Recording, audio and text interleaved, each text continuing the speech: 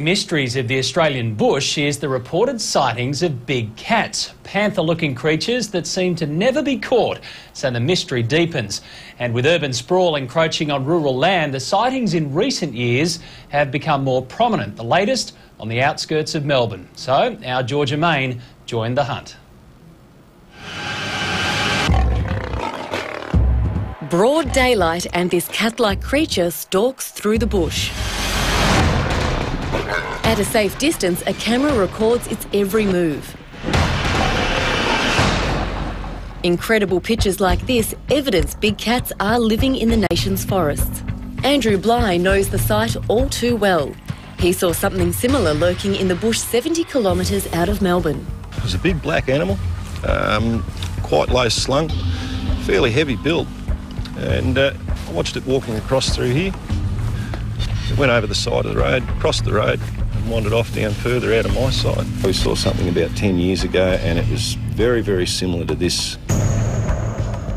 Andrew's sighting is the talk of Don Valley, population 6,000. We were travelling along the road very early in the morning, you know, um, probably four o'clock in the morning, and we just it just crossed the road in front of us. Um, it was like a big black panther, and just went into the bush with a long tail. It was, um, you know, three feet high. Yeah. So there was no way it was a cat. It was definitely a panther. Very silly. Very silly. My sister has, and she said it looked like a big black panther. I think it's a bit of a myth. All I know is that I saw something back in about 1990 that was too big to be a domestic cat, and it certainly wasn't a dog. And your eyesight's good? you got perfect yeah, vision? no, I usually see all right. I don't know what it was. I've heard the big cat theory. I don't really subscribe to it.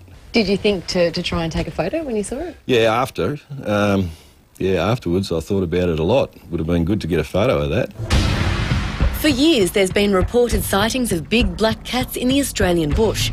Likened to a panther or puma, no one has ever caught one, and few have had a camera handy when they've been spotted. I thought it was a pig at first, but then when it moved, I realised it was a cat. This video was taken at Lake Windamere near Mudgee in New South Wales. But the sightings span across four states, including the Yarra Valley and Gippsland regions in Victoria, the Blue Mountains in New South Wales, in southeast Queensland, even Albany in Western Australia.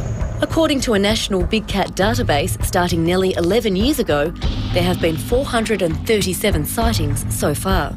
It was 5 foot 7 inches and its back was up to my hip height.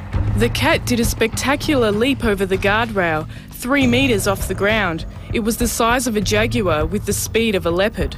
There were three very large paw prints left in soft soil near our sheds, at least 10 centimetres across. I have dogs and they don't make prints anything like these. Last few years, we've had dozens of stock kill reports that we've investigated. We've run our material past um, experts from overseas who have um, adamant that it g- gives all the appearance of big cat kills.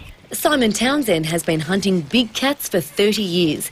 He spotted his first at almost the same location as Andrew. I'm currently uh, saving material that could be used for DNA analysis, particularly the saliva of these potential predators, with the analysis actually producing for us a definitive result of what we're actually dealing with.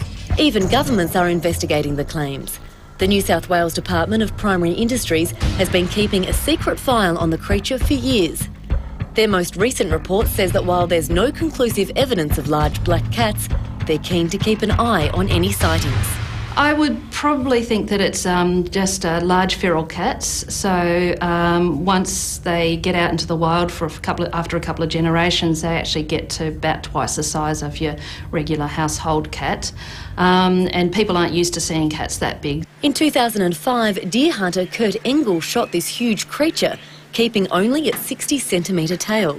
It just shot up and came towards me. The chest was very low to the ground, and the legs out like that. It really screwed in. DNA tests revealed it was 98% certain to be a feral cat. Well, I have never seen any feral cat, you know, being nearly two metres long. But Andrew is adamant that's not what he saw. Certainly not a feral cat or anything like that. It moved very steadily. Uh, there was no jerkiness or anything like that. It was a very fluid motion. Um, and it, it slid over the embankment. It wasn't this little fella here, was it? Wish it was. You'd be worth a fortune, Ruby. And believe it or not, even the Premier of New South Wales called for a formal investigation of the big cats back in 2008, saying there were too many people reporting sightings for the matter to be ignored. The mystery